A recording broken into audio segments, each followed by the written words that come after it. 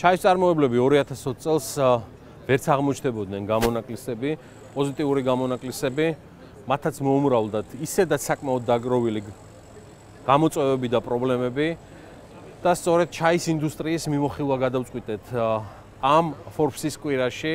წარმოგვიდგინა ჩვენთვის მით უმეტეს იმ ფონზე, რომ ინდუსტრიას როგორც გითხარით, კვლავ რჩება გამოწვევები და მაინც აქ ყველაზე მნიშვნელოვანი არის სწორედ ამ პროდუქციის და ამ კულტურის მაქსიმალური პოპულარიზება.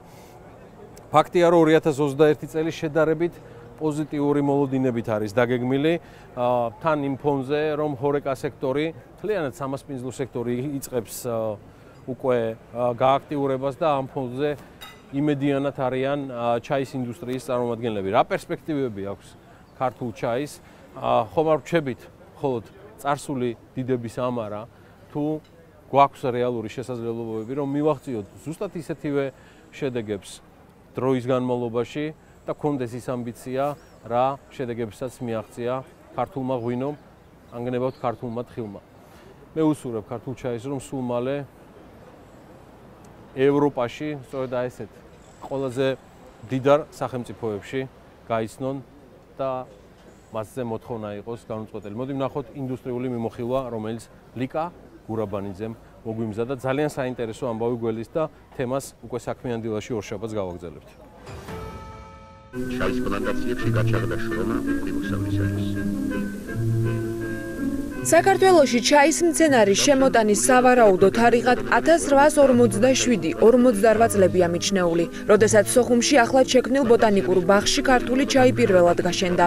ამავე პერიოდში ჩაის კულტურა პარალელურად ზუგდიდში, გურიაში და ოზურგეთში ვრცელდება. 1864 წელს ქართული ჩაი პეტერბურგში რუსეთის სასოფლო-სამეურნეო გამოფენაზე იქნა წარდგენილი და პირველ დადების შეფასებასაც იმსახურებს. საბჭოთა კავშირის დროს სოციალისტურ საქართველოში ჩაის პლანტაციები დაახლოებით 65000 ჰექტარზე იყო გაშენებული. სწორედ ამ პერიოდში საქართველოს ნახევარ მილიონ ტონაზე მეტ მწვანე ფოთოლს აწარმოებდა, ამუშავებდა და მომხმარებლებს აწვდიდა. დღეს საქართველოში 1800 ჰექტრამდე ჩაის პლანტაცია. მიმდინარე წლის იანვარ-აპრილში ქვეყნიდან ექსპორტზე 1.433.330 დოლარის არომატიზირებული, ასევე არაარომატიზირებული ჩაი გავიდა. აღსანიშნავია, რომ წლიურად ექსპორტი შემცირებულია, კერძოდ 2020 წლის ანალოგიურ პერიოდში ჩაის ექსპორტი 1.999.720 დოლარი იყო. რაც შეეხება ქვეყნებს, სადაც ჩაის ექსპორტი ხორციელდება, ჩამონათვალში ლიდერობს აზერბაიჯანი, სადაც 2021 წლის იანვარ-აპრილში ექსპორტზე 759620 დოლარის ჩაი გავიდა. შემდეგ მოდის თურქეთი 276820 დოლარით. მესამე ადგილზეა თურქმენეთი, სადაც 91160 დოლარის ჩაის ექსპორტი განხორციელდა. მეოთხე და მეხუთე პოზიციებს კი ექსპორტიორი ქვეყნების ტოპ 5-ში მონღოლეთი და ყაზახეთი იკავებენ. კომპანია გურიელი 1996 წელს დაფუძნდა. მას ორი საწარმოო ხაზი, ერთი გურიაში, ხოლო მეორე სამეგრელოში აქვს. მის მფლობელობაში 100 ჰექტრამდე ჩაის პლანტაციაა, რომელიც ჯამში 100 ადგილობრივ მეჩაიეს ასაქმებს. 2020 წელს გაყიდვებით 15%-ით შეუმცირდათ, ხოლო ამის ერთადერთი მიზეზი პანდემია და მისგან გამოწვეული სირთულეებია. მათ შორის როგორიც არის ორეკას სექტორის და ტურიზმის არარსებობა. ამ პრობლემებს შესაბუთ მასალებზე ლოგისტიკური ჯაჭვის გართულებაც დაემატა. ჩამოთვლილი მიზეზებიდან გამო გამომდინარე გურიელში ფასების ზრდაც მოუხდათ.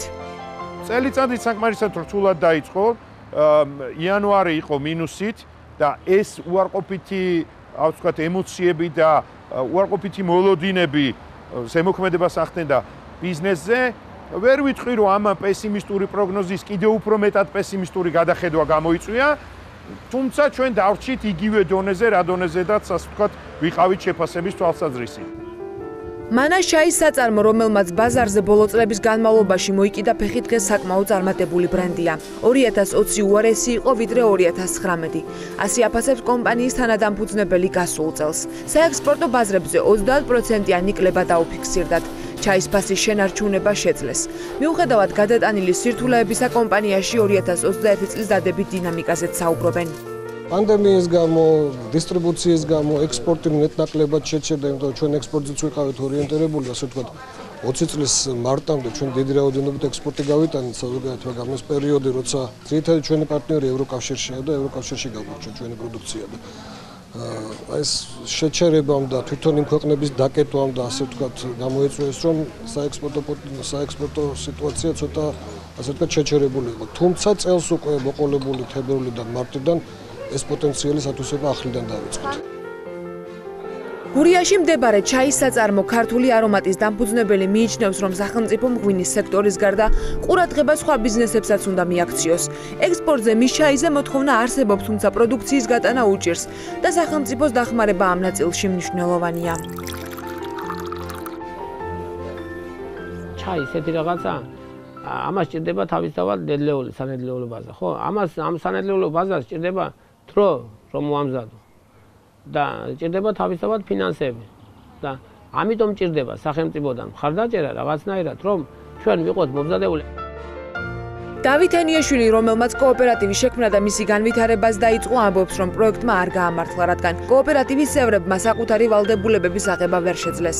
დღეს ინდმეწარმია და 60 ტონა ჩაის აწარმოებს, თუმცა პანდემიამ დარტყმა მიაყენა და გაყიდვები შეუმცირა. მისი აზრით, ბაზარზე პრობლემად რჩება ერთიანი სტანდარტების არარსებობა და საწარმოების არასამართლიანი შიდა კონკურენციაც, რაც მწარმოებლებს გაყიდვებში ხელს უშლით. აგედო ფაქტურად 60% არ ეკიდება ჩაი. ყველაზე დიდი პრობლემა კიდე ამასთან ერთად ეს ერთი რომ ჩაი არ ეკიდება, მეორე პრობლემა ის არის რომ ძირითადად ვერ ყალიბდებით ამდენიმე მეწარმე, რომ ერთი და იგივე ხარისხის დასახეობის ჩაი ვაწარმოოთ, რაც ფაქტურად გაგეროს ხელს უშლის. იმიტომ რომ გარკვეულწილად რაოდენობზე არის მოთხოვნა უცხოეთიდან მაგრამ რაოდენობრივად და ხარისხობრივად ეშაი სხვადასხვა ჩაის მწარმოებლებმა გასული წლის პრობლემების მოგვარება დაიწყეს. ქვეყნის ეკონომიკის გახსნასთან და ჰორეკა სექტორის ამოქმედებასთან ერთად პოზიტიური მოლოდინებიც გაუჩნდათ, ხოლო ზოგიერთმა კონკრეტულ დაგეგმილ შედეგებზე გასვლაც დაიწყო.